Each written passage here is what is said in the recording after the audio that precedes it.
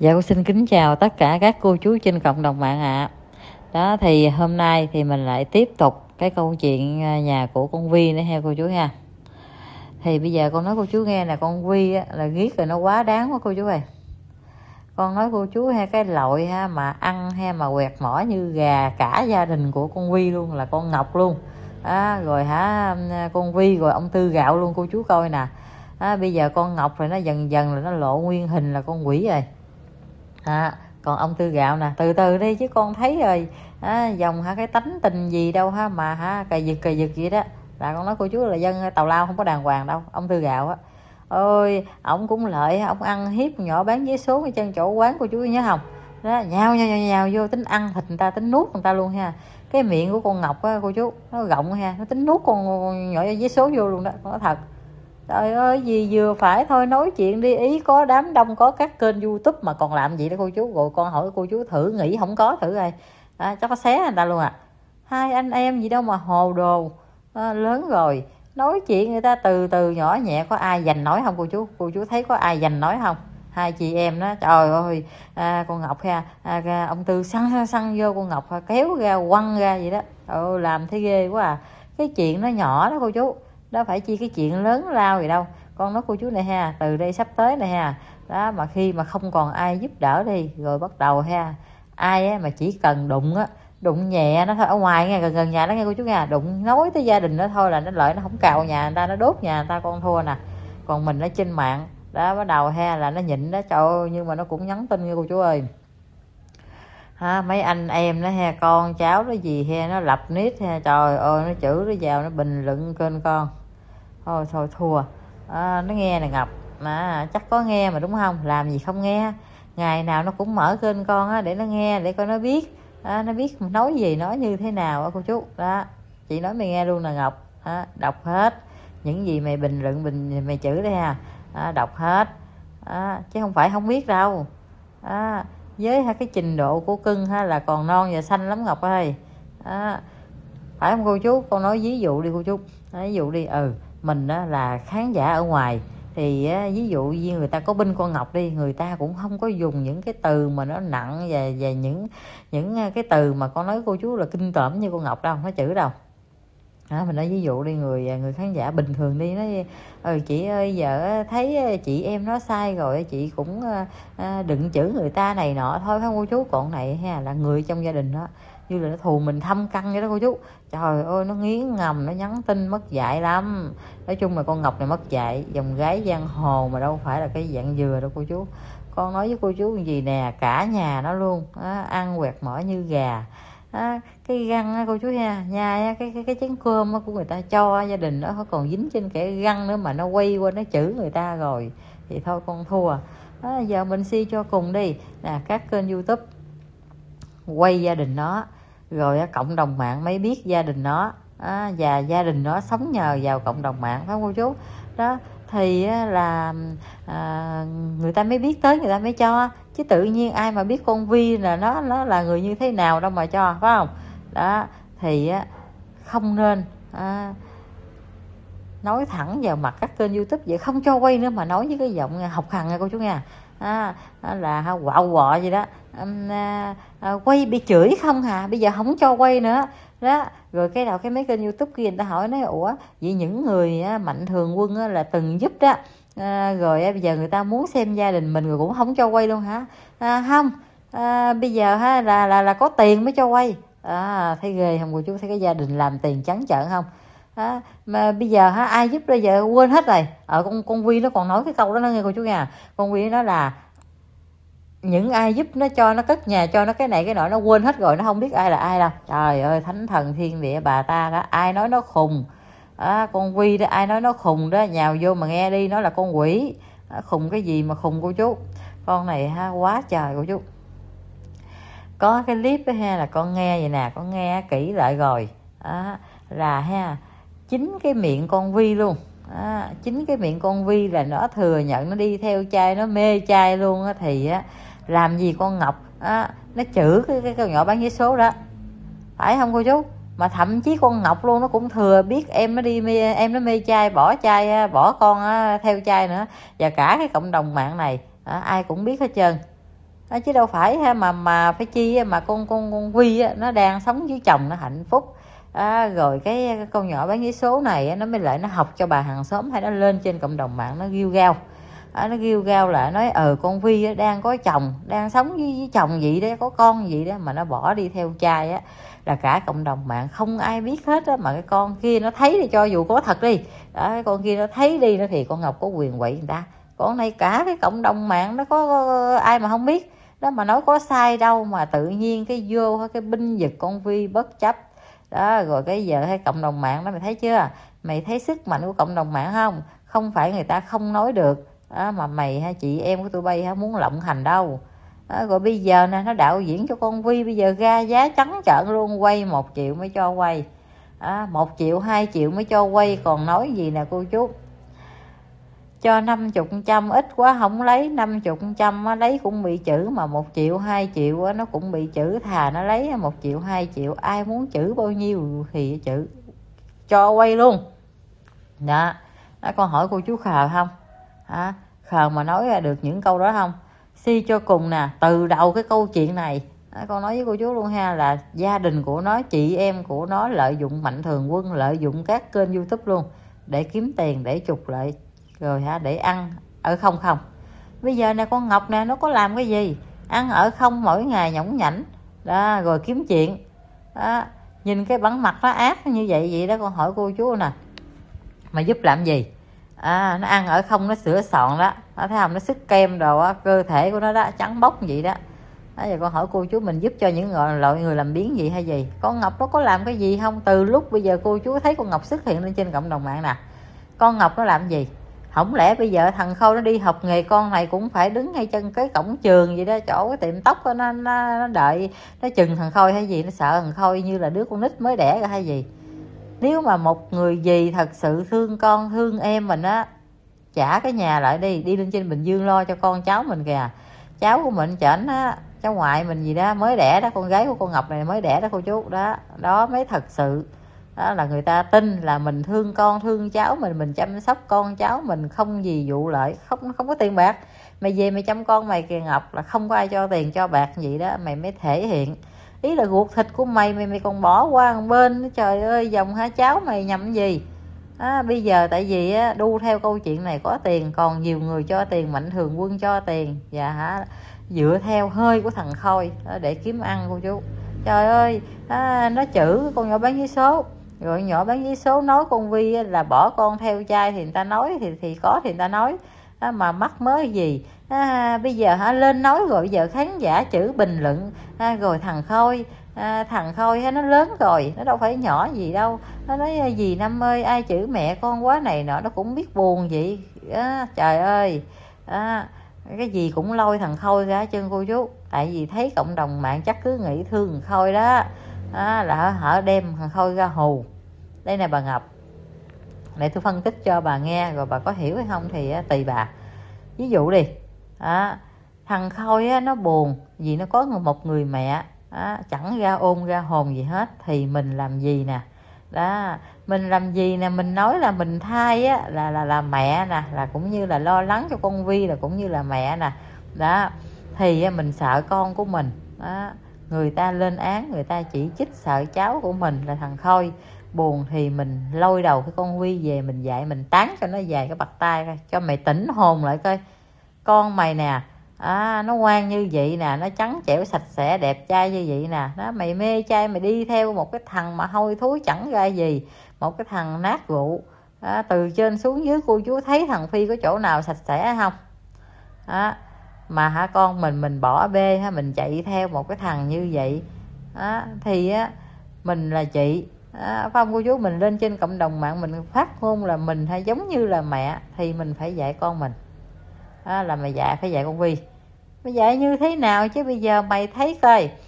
Ai ha mà hả mà mà mà mà chấp nhận được một con đàn bà mà ăn ở hai thằng đàn ông cùng một lúc mà sống bầy đàn như vậy mà giờ còn lên trên cộng đồng mạng. À, lên trên cộng đồng mạng rồi người này người nọ cho tiền. Mà con hỏi con không hiểu luôn cô chú con không hiểu là mạnh thường quân á, bộ tiền nhiều lắm sao? Làm không cực hay làm sao mà lại hay đi giúp đỡ cái gia đình của con vi với thằng phi này? Mà nó là ha là cái người tai tiếng lên trên cộng đồng mạng và cũng còn mạnh khỏe. Đó, vẫn còn mạnh khỏe, không chịu đi làm gì làm biến thì kệ nó. Mình phải giúp đỡ. Bây giờ đi, nói đi. Giúp cái nhỏ bán vé số đó cô chú. Con nói thật sự cô chú, con không nói tiếng nào. Cái thứ nhất, cái hoàn cảnh người ta khó khăn. Cái thứ hai, bệnh tật trong người cái thứ ba, con còn nhỏ. Đó, mà phải hả là mẹ đơn thân gồng gánh như vậy đó, cô chú ơi, cho đi. 10 tỷ con cũng không nói tiếng nào, mà cho cái gia đình con Ngọc. Một ngàn cũng tiếc, con nói thật. Nhất là cái con Ngọc, con nhỏ đó là cái con nhỏ đó hay là nó quay xe, quay đầu 100 tám 80 độ luôn cô chú. Con nói thật sự, con Ngọc á, cho nó đi rồi mang cái bệnh tức, chẳng có ơn, có nghĩa gì đâu cái gia đình này trời ơi cái gia đình mà con nói với cô chú hay là thuộc rồi cái thành phần tai tiếng mà mạnh thường quân đổ tiền về ào ào ào ào giúp đỡ cái gia đình nó. Gia đình nó hả là hả có cái gì mà hay ho mà giúp.